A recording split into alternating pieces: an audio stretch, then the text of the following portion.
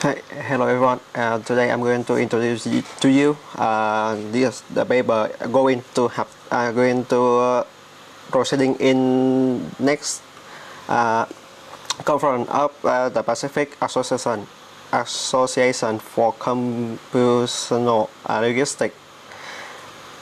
this paper named end-to-end recurrent neural network model for Vietnamese name entity conditions. Uh, word level versus uh, character level. Uh, uh, abstract. Uh, this paper demonstrated uh, demonstrated uh, an end-to-end neural network architecture for the Vietnamese name entity recognitions. This this system combines the bidirectional long short-term memory uh, convolutional neural network uh, and uh, conditional random field. And the input is the retrain word embedding. And this system achieves the F1 score of 88 88.5 percent on the standard set and the reverse uh, first rank system for of the VLSP uh, 2016 name entity recognitions is 88.78%.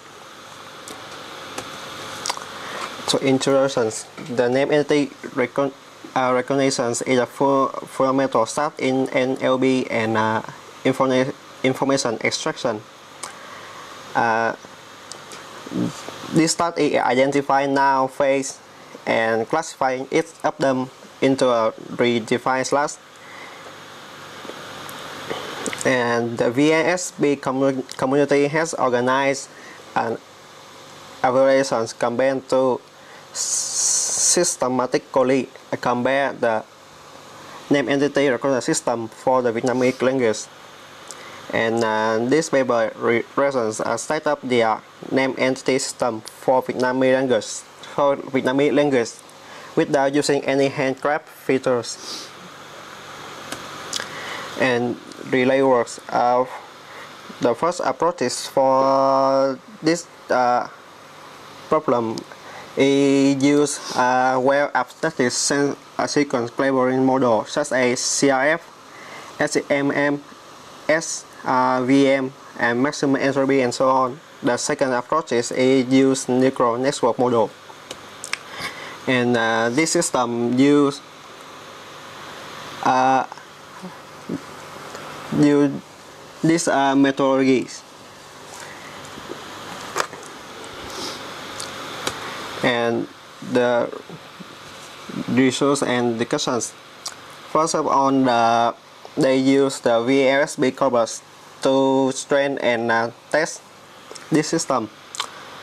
Uh, the VLSP corpus it consists an electronic newspaper published on the web and they re identify re-identify for name entities type persons locations organizations and other and evaluations method AF1 score in the first uh, experiment the work they want to compare the word level model with character, character level model uh, they compare the effectiveness of word uh, and character level crossing without using any external corpus. Uh, both of the two systems take, take embedding as an input of uh, bidirectional long short-term memory and predict predict output by the CRF top layer and this is the result and this result show that the character level model get a the high score than the word level model. In the second uh, experiment they want to know the effect of the work embedding so they use the external corpus to learn the work embedding uh, this table shows that the water vector embedding it gets the high score than the random embedding. In the next uh, uh, experiment, they want to know the effect of the character level phasor. So they adding the character level phasor learned from the CNN model into the word level phasor. So in this table, so that they uh, adding the character level learning from the CNN model, the they getting the higher score than the model don't use the character level. And uh, fi fi final uh, experiment, they use the parameter at the same as the reverse system in the VLSP uh, 2016 uh, evaluation campaign and the accuracy the accuracy of the best their best model. Is achieved the 88.59 percent. And the best uh, this table shows the performance of the name entity problem system at the VLSP 2016 and the